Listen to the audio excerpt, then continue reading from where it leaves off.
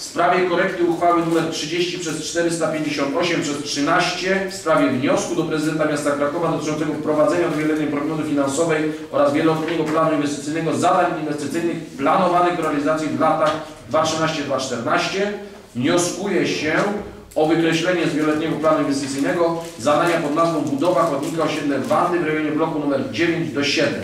Proszę Państwa, zadanie zostało, jest w trakcie realizacji, koszt realizacji 86 tysięcy złotych.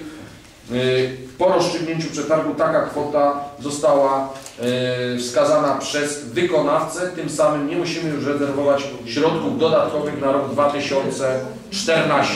Otwieram dyskusję. Nie widzę, zamykam dyskusję, przechodzimy do trybu głosowania. Kto z Państwa radnych jest za? Proszę o podniesienie ręki. Dziękuję bardzo. Kto z Państwa radnych jest przeciw? Dziękuję. Kto z Państwa się wstrzymał? Dziękuję. Stwierdzam, że Rada przyjęła uchwałę na druk nr 24.